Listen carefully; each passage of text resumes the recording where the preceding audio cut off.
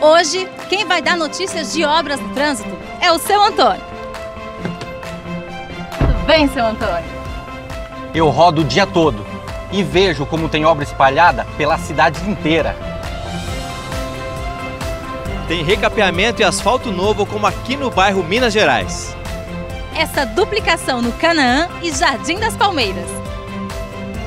A construção da sexta ponte nos últimos anos. Essa agora ligando Taiamã e Jardim Brasília. Do outro lado da cidade tem mais duas trincheiras, na Afonso Pena e aqui na Rua Aia, unindo Tibere, Custódio e o aeroporto. E tem as novas ciclovias no Roosevelt, Pacaembu, Santa Mônica até o Moarama, no Planalto até o Mansur. Esse é o Uberlândia Integrada, que aproxima pessoas, melhora o trânsito e o transporte. CETRAN e Prefeitura de Uberlândia.